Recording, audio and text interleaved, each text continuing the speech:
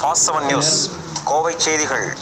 கொடிசியாவில் பொன்விழா துவக்க விழாவில் தமிழக ஆளுநர் திரு பன்வாரிலால் புரோஹித் அவர்கள் நாளை இருபத்தி ஒன்பது கலந்து கொள்கிறார்.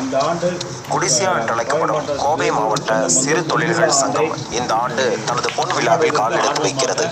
ஆயிரத்தி தொள்ளாயிரத்தி அறுபத்தி ஒன்பதாம் ஆண்டு முப்பத்தெட்டு உறுப்பினர்களுடன் துவங்கப்பட்ட இந்த சங்கம் இன்று ஆறாயிரத்தி அறுநூத்தி நான்கு உறுப்பினர்களுடன் செயல்படுகிறது.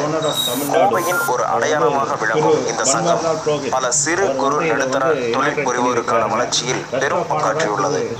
இந்த நிகழ்ச்சி குறித்து ஒடிசியா தலைவர் ஆர். ராமமூர்த்தி செயலாளர் தேவராஜ் பொன்விழா கமிட்டி தலைவர் பழனிசாமி ஆகியோர் கூறுகையில் கொடிசியா பொன்விழா ஆண்டு தொடக்க விழா அக்டோபர் இருபத்தி ஒன்பதாம் தேதி திங்கட்கிழமை மாலை ஆறு மணிக்கு ஒடிஷா தொழிற்காட்சி வளாகத்தில் உள்ள e இ ஹாலில் நடைபெறுகிறது.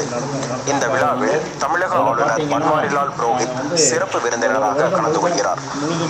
தமிழக அமைச்சர் எஸ் பி வேலுமணி விழாவிற்கு தலைமை தாங்குகிறார். நாளை தூங்கும் இந்த பொன் விழா கொண்டாட்டங்கள் இந்த வருடம் முழுவதும் நடைபெறும். ஒடிசியாவின் ஐம்பது ஆண்டு கால வரலாற்றை வழங்கும் புகைப்பட கண்காட்சி நடைபெறும். பொன்விழா வளைவு நிறுவுதல் ஒடிசியா வரலாறு புத்தகம் வெளியீடு பொன்விழா மலர் வெளியீடு சிறு குறு தொழில் முனைவோரின் சாதனைகளை பாராட்டி விருது வழங்குதல் ஆகிய நிகழ்ச்சிகள் நடைபெறும். உள்நாட்டு மற்றும் வெளிநாட்டு வல்லுநர்களை கொண்டு கருத்தரங்குகள் பயிற்சிகள் போன்ற நிகழ்ச்சிகள் நடத்தப்படும்.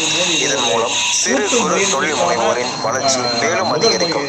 குடிசியா தொழிற்பூங்காவின் ஒரு திறன் மேம்பாட்டு மையம் அமைக்கப்பட்டு தொழிலாளர்களுக்கு தேவையான திறன்கள் பயிற்றுவிக்கப்படும் இந்திய அரசின் நிதி ஆயோக் அமைப்பின் கீழ் ஒடிசியா தொழில் அமைப்பு நாட்டிலேயே முதன் முதலாக அடல் இன்னோவேஷன் திட்டத்தின் மூலம் ஒரு இன்குபேஷன் சென்டர் அமைக்க அனுமதி பெற்றுள்ளது இது இந்த சங்கத்திற்கு கிடைத்த பெருமை என்றனர் செவன் நியூஸ் செய்திகளுக்காக கோவையிலிருந்து செய்தியாளர் மணிக்குமார்.